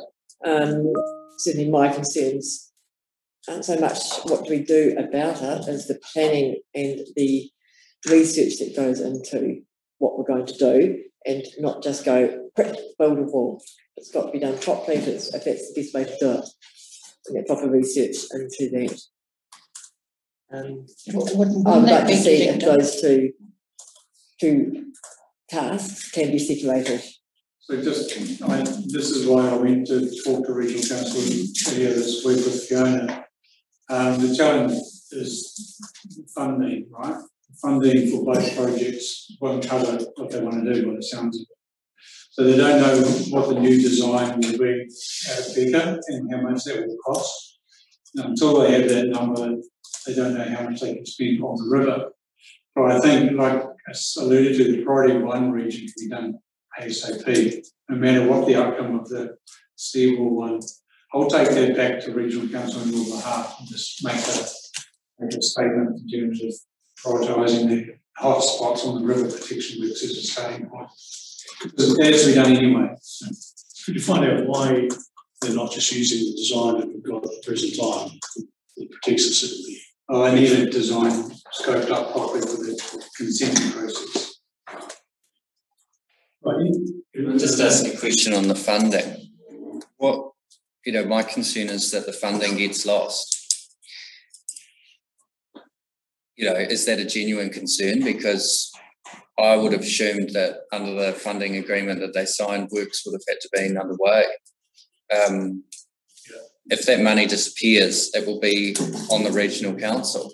So is it worth us actually, like I get what Tank is saying about um, working together and stuff, but ultimately they will have the, you know, they will have the control over what happens. So can we as a council be resolving and writing to them to express our concern around the delays? I mean, we haven't seen any, any concepts or plans. We haven't seen any timelines and we certainly, I mean, it's a concern that that money disappears. We, we've got skin in the game with the financial contributions that we've put forward on behalf of our residents. And if we, um, if we sort of just sit back and then, you know, and it all goes belly up, um, because, you know, I think we, we need to take some of that responsibility too. So, you know, my thinking is around the river protection, that should be underway. And I can't understand what, what's the gap? Is it a lack of resourcing within the regional council in terms of their planning staff or changing? Yeah, I don't, I don't actually know and and now Hadley leaving to go to Australia in August. You know, is that a genuine concern? Why are there no designs? Why is it not being done? How can we help? So That's, that's right. a, a a letter to uh, regional council as a result, as an action point here. Yeah. Thank you. Uh, and ju- and just to, just to follow on, I mean, I, I have the same concerns, like this is a conversation that we had a long time ago, um, that we were working with the regional council with way back then. And, you know, like, uh, in, in the instance, um, particularly, um, with what, um, councillor Davidson's talked about, you know, this does need to, you know, we do have an obligation to our community to keep them safe.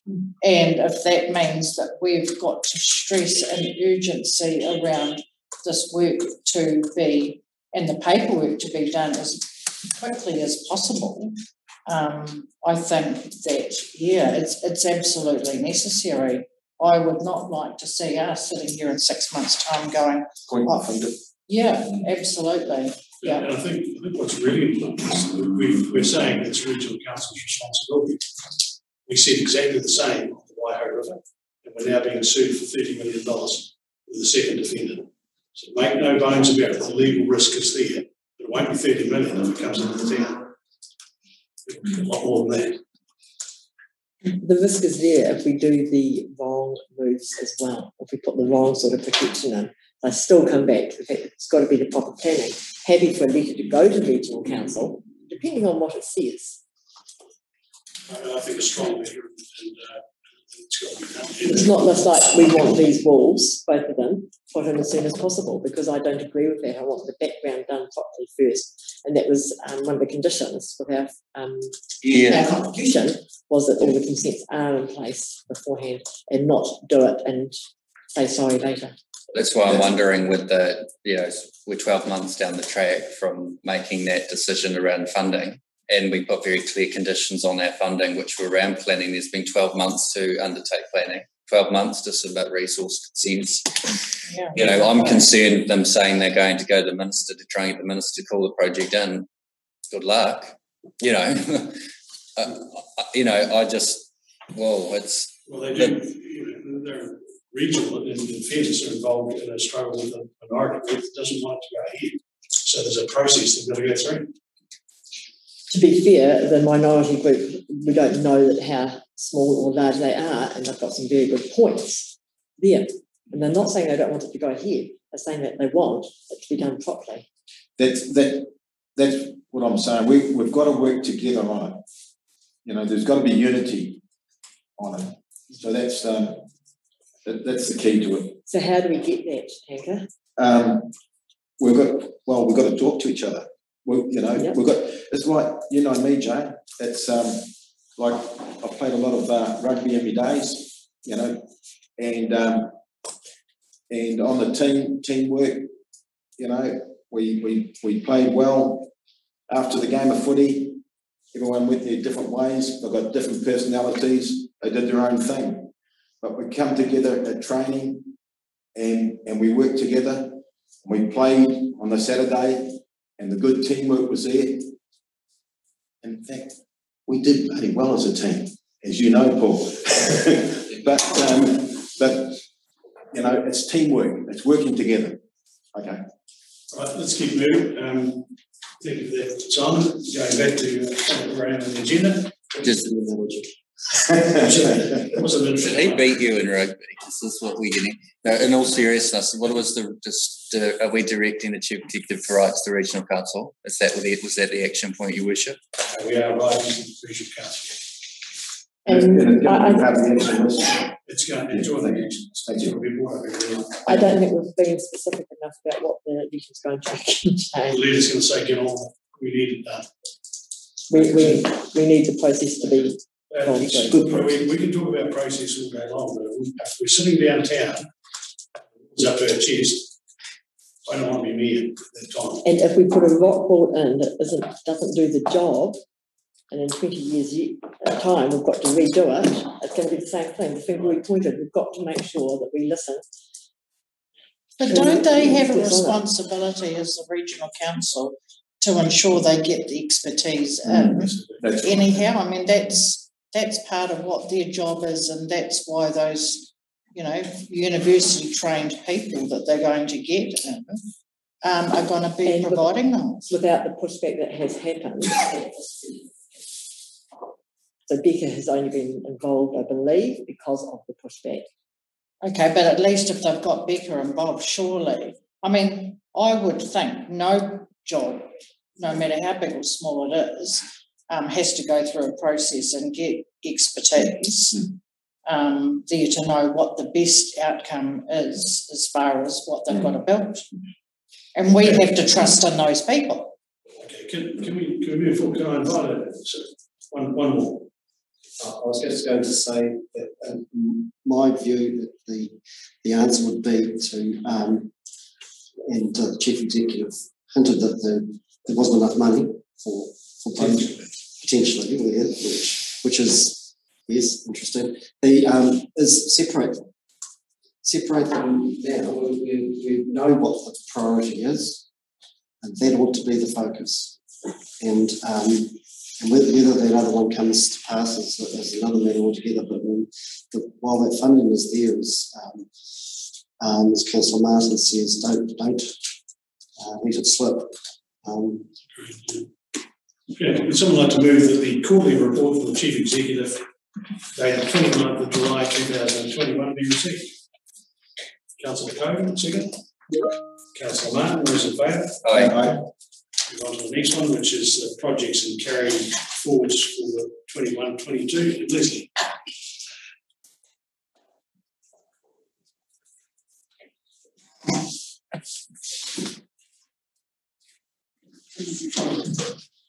The object of this report is to obtain approval to carry over the funding from previous council years to the current year for projects in the list attached as appendix one.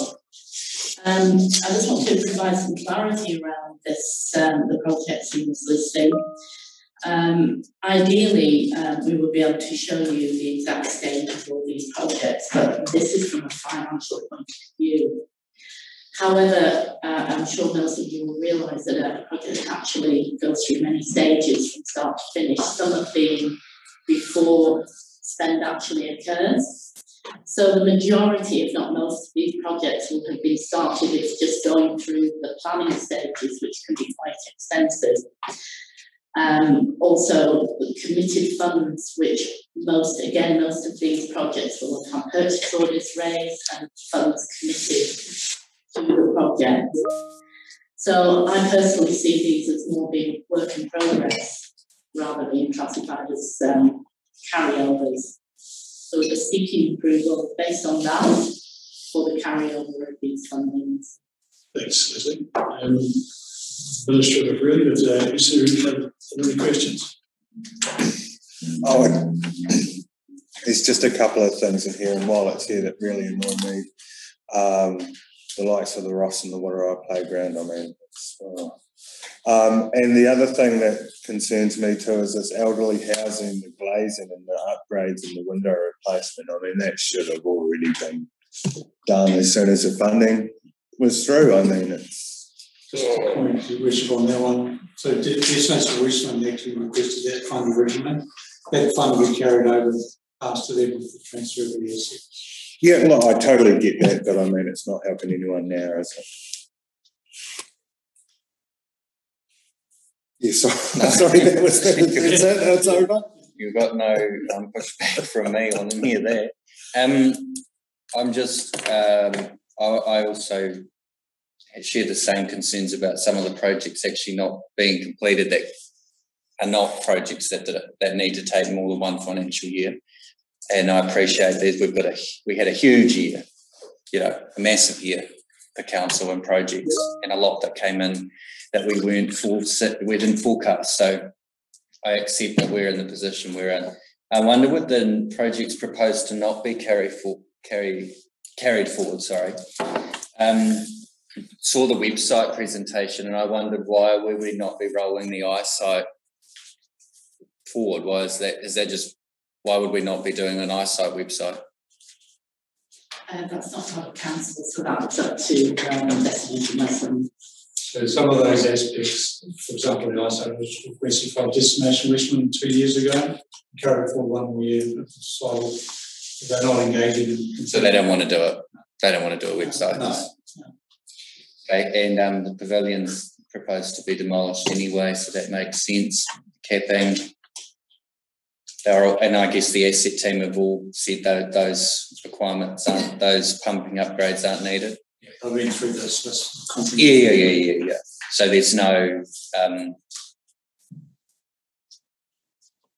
there's no additional pumping work that needs to be done in, in Hokitika. No, there is, there's definitely work in stormwater, and well, after a review of the stormwater going back a couple of years now, we reprioritise once we do a lot more data. Um, once we put the camera down and had a look at what's going on, we've actually changed the whole scope of stormwater management. Okay, that's good to hear.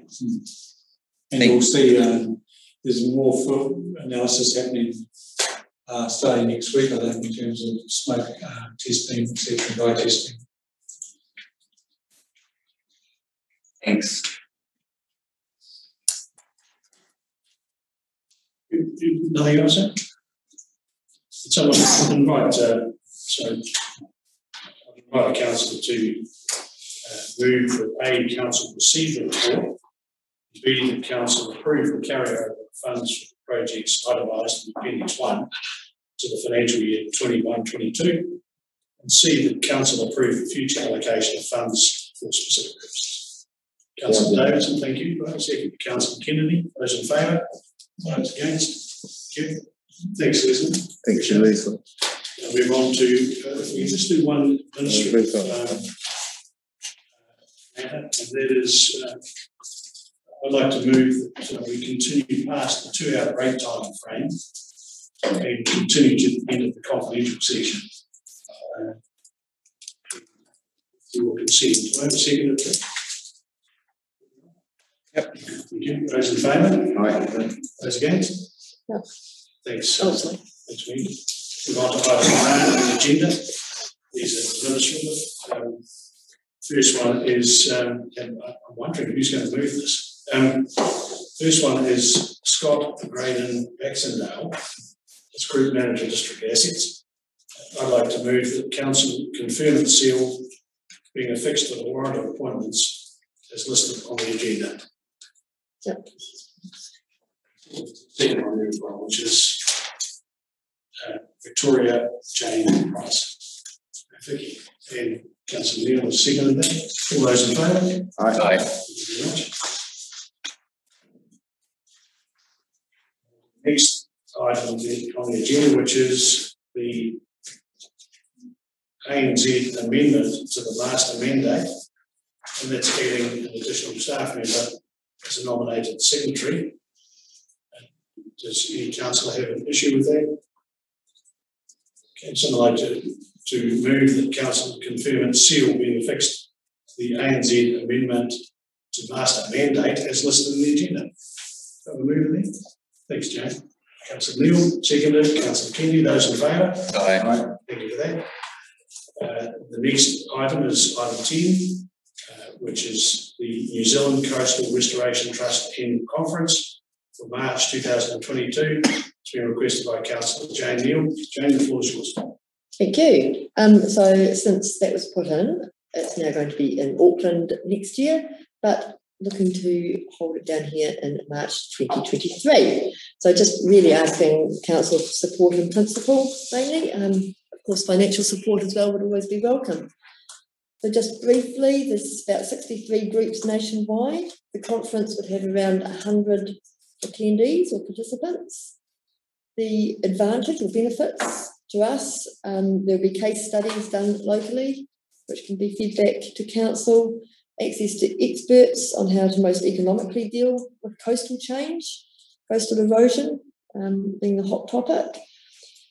And there's workshops that council and the public can participate in. So yeah, I've been asked to bring that along just to get support in principle for it at this point. From my point of view, I would support any council that goes out and encourages a conference coming to our town. Mhm. Brilliant. Any, any, uh, any discussion on that, councillors? Yes. Um, I think it's great attracting any conference to the community. It's awesome. So thank you. Um, I'm just reflecting on a framework to, you know, the designated person to actually communicate with and just reflecting on our experience with Matariki, like, where does it best sit? Is it best sitting with the council and Destination Westland or both or neither? And if it sits best with council, who would be the key liaison person in, inside this building? And if it sat with Destination Westland, who would be the key liaison person? Because um, often there's operational components of something like that, so we can attract it. But then there's actually like, okay, well, we need to do a street closure, we need to be on the beach, or we need to book the, re- you know, all these things that that happen, which I'm sensing is kind of bringing it to council. It's like we endorse it in principle, but do we have the capacity to pick these sorts of things up? Does it sit within our community services function? Do we support Destination Westland to pick up smaller events by way of financial contribution. Or I'm just, I hate to think that we could lose an opportunity because we haven't got our own head around where it best sits. I think in the uh, in the first instance, um, uh, council is offering its full support to council and mayor to bring the New Zealand Coastal Restoration Trust annual conference to Aotearoa 22 or 23 or 24. Um, but the wider issue of where these things fit within the organisation, I think, is something for another day. Mm. Because it's something that the chief executive needs to consider. I, I, uh, I'd just like to know a little bit more about what is this group? Um, I believe they've got a very good website. I haven't seen it myself, so some of this information I just got this morning. Um, yeah, so go look on the website. There's no urgency because it's been pushed out to 2023 now. So maybe it's something that can we can look into. I can send the link around to the website. Everything. Not Um, much. Fights with our values as well. okay. okay. Uh, Joan, would you be happy with doing the report? Sending more information out for sure. If it's, And Simon, if you can keep it on your radar for in the future you know, as to where it best goes. twenty twenty-three. Bearing in mind how long it takes to get a canary Yeah. crossing in place. It's too soon, Jane, too soon. Uh, I've invited council to move, that, uh, council move into public excluded. So moved. Councillor Kennedy, Councillor Davidson, thank you. Um, to the members of the public that are, uh, that are watching, thank you for joining us for this meeting. We really appreciate the fact that you're interested and, um,